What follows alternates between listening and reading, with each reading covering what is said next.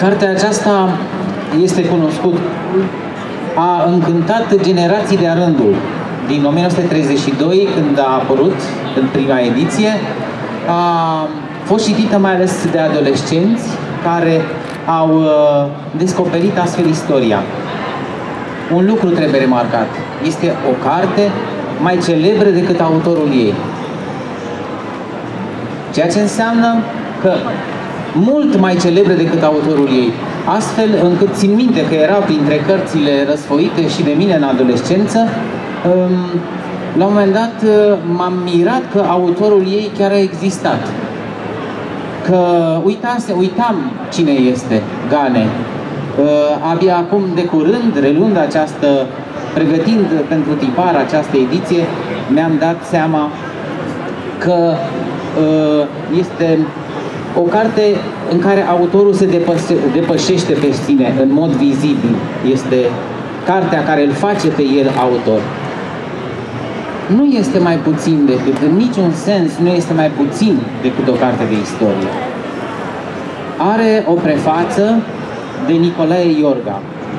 Dat fiindcă este cea mai scurtă prefață pe care am văzut-o eu, îmi permit să vă citesc Uh, este un fel de recomandare pe care Iorga o face lui Gane după lectura volumului.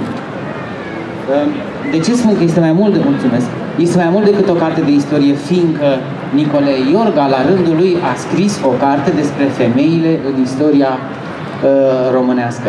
O carte care în niciun fel nu a uh, căpătat o asemenea pregnanță pe cum trecute vieți de Doamne și Domnițe. Spune, Domnul ce Gane cunoaște perfect baza documentară, a icoanelor pe care cu meșteșug literar, deci recunoscut de Iorga, le înfățișează publicului capabil de a citi acest vârtej de nebunie și de înșelăciune, literatură bună.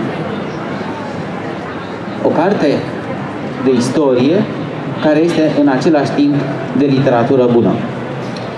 Cartea a cunoscut un, ca și autorul un destin frânt, fiindcă ea a fost publicată, a fost un bestseller la, uh, în, în perioada interbelică, dar după ce, au, după ce Gane a fost arestat și a murit la Iud, um, ea a fost uh, retipărită abia după reabilitarea post-mortem a autorului. A apărut în anii 70 la editura Junimea din Iași.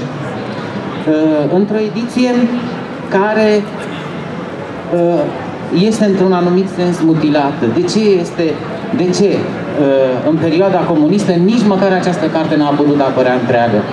Fiindcă este istoria reală a unui omenesc prea omenesc. Exact acest lucru ne înfățișează, această dimensiune a istoriei ne înfățișează Gane. Nu întâmplător, iar chiar, ea chiar poartă un, uh, un moto pe care i l-am redat aici și care a fost uh, care dispăruse în edițiile cenzurate din uh, perioada comunistă. Uitați cum sună motoul din Nietzsche. Învățând istoria, simți că ți se transformă neîncetat nu numai spiritul, dar și inima. Și, contrar metafizicienilor, ești fericit de a găzdui în tine nu un suflet nemuritor, ci mai multe suflete muritoare. Prin urmare, um, istoria nu se face, istoria bună de calitate, nu se face de către metafizicieni. Dacă îmi dați voie să vă citesc uh, o scurtă pagină pentru a ilustra o scurtă pagină din carte, pentru a ilustra felul în care, de fapt, istoria personală a oamenilor se întrepătrunde cu istoria așa cum o știm noi, a evenimentelor majore. Frumos este, știți, de fiecare dată, de fapt am trăit o pagină de istorie uh, săptămâna trecută, uh, cotiturile în istorie Uh, ar putea fi puse și există întotdeauna în istoriile consacrate un capitol al lui era cât pe aici. Or, acest era cât pe aici uh, apare foarte des, foarte pregnant în această carte în care uh, cursul istoriei țărilor române este ilustrat la nivelul uh, persoanelor, la nivelul unui personaj sau altul. Uh, dragostea neîmplinită dintre Zoe Moruții și Enăchiță Văcărescu. Doamna Zoe Moruții, soție de domnitor, se îndrăgostește de acest poet.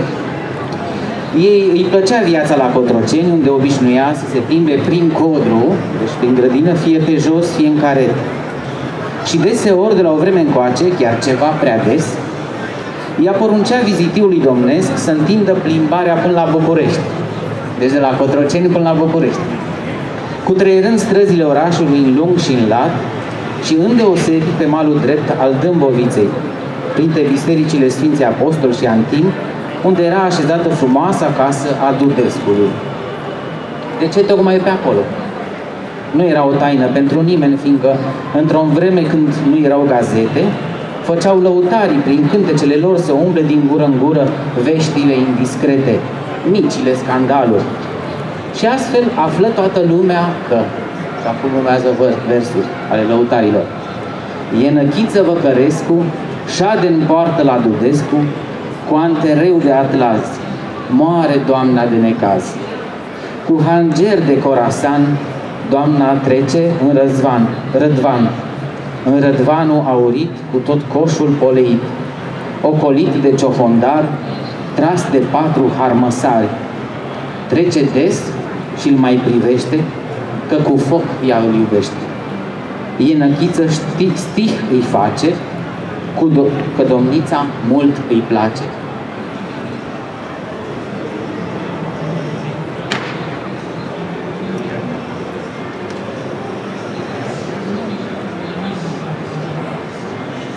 Era nevoie de pauză aici, fiindcă urmează cei mai tare. Stihul Iubov înfocat și-o dezmiardă înlăudat. Boier astfel ca un brad nu se află în țarii grad. El cu doamna s-ar lovi dacă Domnul ar muri. Uh, cartea este plină de astfel de suave povești, vă recomand din tot sufletul. Eu am redescoperit-o, fiind redactor al ei, am redescoperit-o și m-am bucurat, mai ales în forma actuală, cu acest chip nou pe care îl are. Mulțumesc frumos!